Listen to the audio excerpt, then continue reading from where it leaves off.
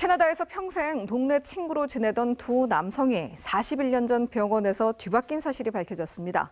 영국 BBC 방송은 두 남성이 1975년 같은 병원에서 사흘 간격으로 태어났는데 병원 측의 실수로 뒤바뀌게 됐다고 보도했습니다. 인구 5천 명 규모의 원주민 마을에서 살고 있는 테이트 주니어와 리완 스완스는 평소에도 서로의 부모를 보면서 닮은 점이 유난히 많다고 느껴왔다고 합니다. 그러다가 지난해 자신들이 태어날 즈음 병원에서 아이가 뒤바뀐 사례가 확인됐다는 소식을 접한 뒤 유전자 검사를 했습니다. 검사 결과는 예상대로였습니다. 이들은 기자회견에서 눈물을 쏟아냈는데 40년이 사라졌다, 심란하고 화가 난다고 토로했습니다.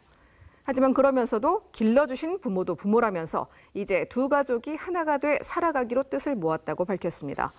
캐나다 정부는 이 병원에서 또 아기가 뒤바뀐 일이 없는지 조사를 시작할 방침입니다.